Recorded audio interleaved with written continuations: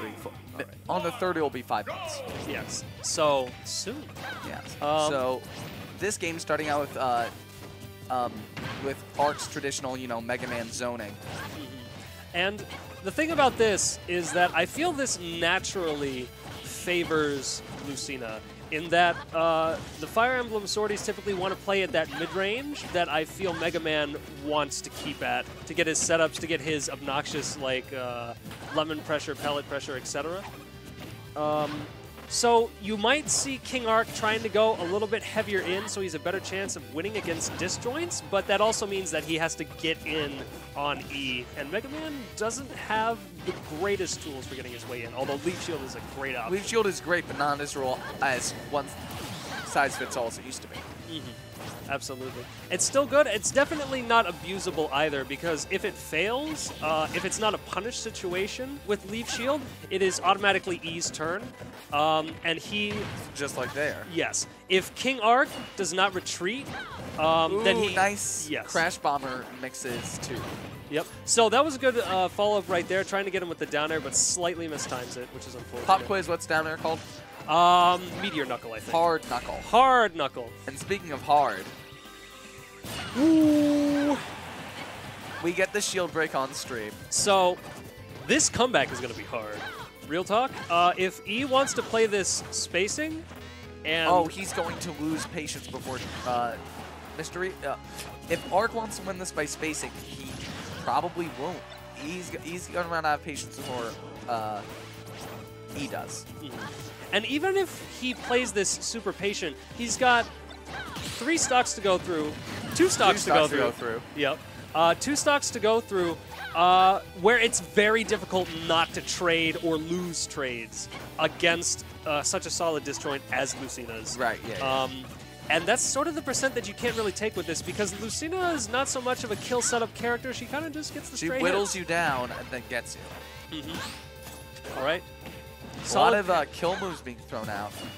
Uh, you see, Arc's definitely looking. As I said, he's not going to win with patience. He's going to win with decisive, hard reads. All right, and see- he's looking for him. So that's it right there. On Leaf Shield on Shield like that, when he releases, it's sort of a mix-up, not really. Um, and then if he releases it in his face, it's a punish. If he jumps away, he escapes a punish, but it's E's turn, and he's at the range that he doesn't want to be looking in. for the ledge trump back air, which might have killed. Uh, at this percent? Damn. I wouldn't be surprised, though. I could believe it. All right, nice. Not going to do it. Maybe up smash would have been a better choice for damage output. Maybe. All right, good follow-up on the up air. All right, early up B will do it. Uh, can he come back for that? No, he didn't even have his jump. That's unfortunate. But again, very difficult to come back, but King Arc making it look like he definitely had a good chance on that Can we one. see that shield break?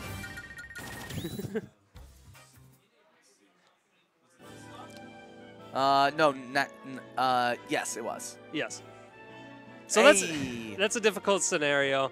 When you have your shield down like that, I think minimum charge uh, shield breaker does like 65, 70% of your shield off tops. So there's no way he could have reacted to that. He, he would have had to know, and that was a mix-up at that point between you're going to eat a free hit or you're going to lose your shield. Shield breaker comes out around frame 20, so I think he could have reacted. Hmm.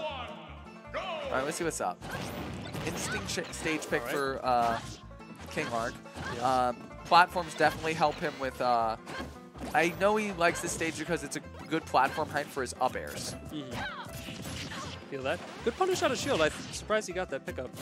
Um, I think thing. I think King Arc is staying too close to the ledge uh, when he's ledge guard. I think his choices are like, see, now he's already adapted.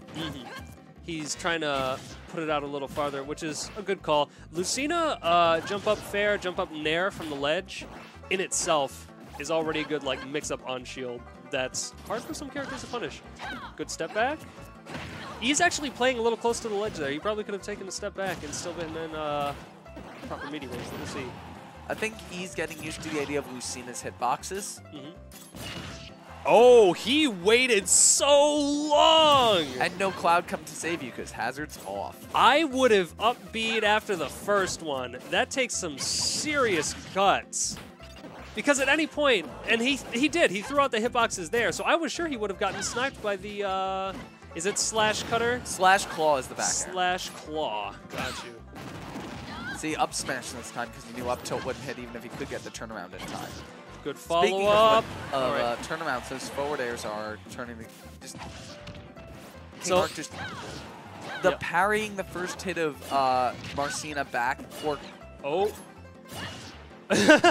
he, was he doesn't so save him. silly. He doesn't save him, but he eats a little bit of extra percent, which, when he's giving him trouble like this, that's probably not something you want to do. Ooh, the spacing, the up air wasn't able to apply shield pressure. Oh. All right. That was a 50-50 basically on whether he would die. it's good that he's looking for him. All right. Very nice good. choice of using forward air to grab the uh, metal blade. Yep.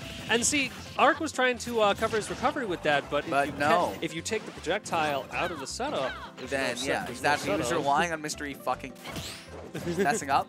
Uh, and relying on a player like Mystery messing up under that kind of pressure is, um, at this level of play, I think it was a little desperate. Uh, even then, you know, he, he didn't have oh so many options there. Good tech chase on that one. Even if he hadn't gone for the neutral get up, it was difficult not to get hit there. What I'm really impressed by is how effectively Mystery is playing Crash Bomber back against uh, Arc. Well, a lot of the times it's coming out is at the ledge, and they both happen to be in a ledge get up scenario. Um, so a lot of times he's just rolling into uh, King Arc and giving it to him. All right, very patient. Doesn't bite. Tries to go off stage for the deep fair and doesn't even lose too much of the stage for it either. Turned neutral very quickly. All right. Oh, he could have up tilted. All right, good setup. Good setup, forcing a high recovery, and then covering it with that smash. Yep. That smash, a projectile that Mystery can't just grab. Yes. A very simple setup. Uh, cover the low and encourage your person to jump and then catch the jump, but it's effective. Yeah. Now, Mystery can take this if he plays his cards extremely right. All right. I think that was a double switch right there. Yeah, definitely. All right. Uh, tries to go for the grab. That was actually a really good call at trying to catch him during go. the landing He, frame. Again, reliably catching these metal blades. Shutting down a huge, uh, a down air will do it. He was ready for it. I mean, that's the secret, right? If you know what will kill you, then you got to be ready for what's going to kill you. You know what I mean? So very difficult situation for Arc here, especially as Rage starts to come on board for E. But- uh, any stray hit will end up killing. Uh, like Up throw. the, more, the Fire Emblem Yeet. yes. A I- string of 2-0 sets. Um, and it's so odd to see so many 2-0s in that uh, all the players that we've been seeing are very strong. Oh, yeah, yeah, yeah. King Arc,